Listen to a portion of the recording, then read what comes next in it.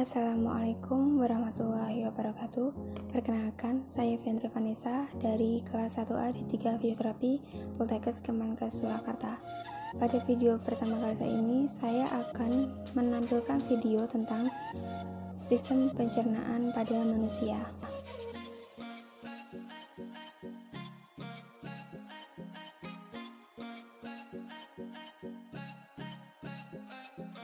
Baiklah, saya mulai saja. Saya akan menjelaskan sedikit tentang sistem pencernaan pada manusia. Yang pertama, kita mulai dari pengertian sistem pencernaan. Sistem pencernaan merupakan suatu proses yang mengubah makanan menjadi sari-sari makanan yang dapat diserap oleh tubuh.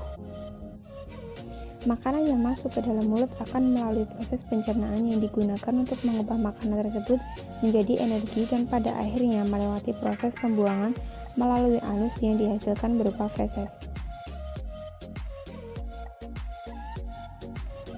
Selanjutnya adalah sistem pencernaan manusia yang terdiri dari rongga mulut, kerongkongan, lambung, usus halus, usus besar, dan anus.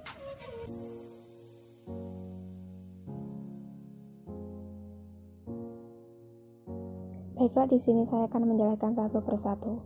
Yang pertama yaitu rongga mulut. Di dalam rongga mulut terjadi pencernaan secara mekanik dan kimiawi, yaitu pencernaan mekanik gigi dan lidah dan pencernaan kimiawi yaitu air liur berupa enzim amilase. Yang kedua yaitu kerongkongan. Di dalam kerongkongan, makanan didorong ke lambung oleh gerakan peristaltik. Gerakan peristaltik adalah gerakan meremas dan mendorong pada dinding kerongkongan. Berikut adalah gambar kerongkongan.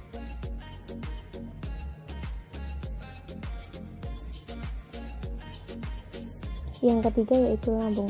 Lambung mempunyai dinding yang terbentuk dari adanya otot-otot polos yang memiliki fungsi sebagai penggerus makanan. Otot-otot tersebutlah yang nantinya akan menghancurkan makanan sehingga makanan itu bisa bercampur dengan getah lambung.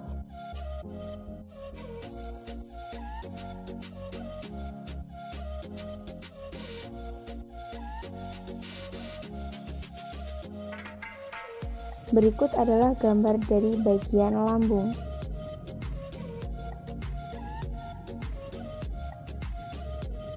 Yang keempat yaitu usus halus. Usus halus yang ada di dalam sistem pencernaan memiliki fungsi utama sebagai tempat pencernaan dan juga penyerapan nutrisi makanan.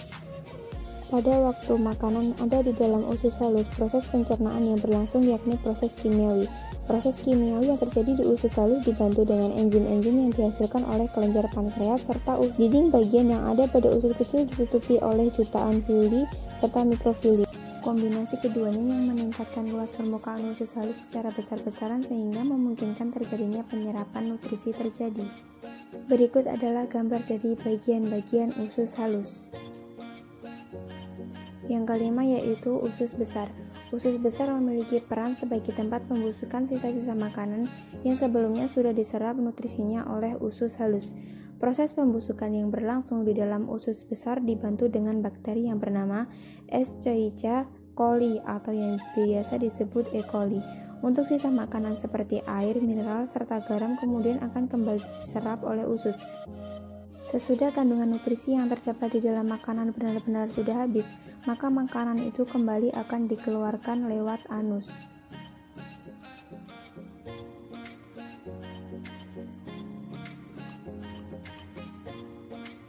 Berikut adalah bagian-bagian dari usus besar.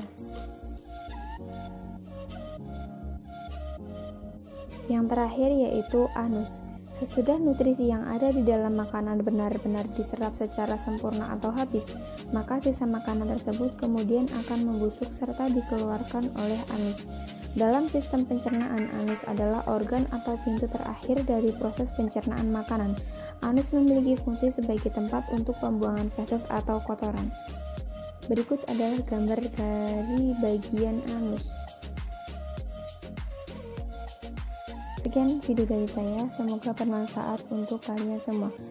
Teman saya namanya Galih, loncat-loncat di depan pintu. Sekian dan terima kasih. Wassalamualaikum warahmatullahi wabarakatuh.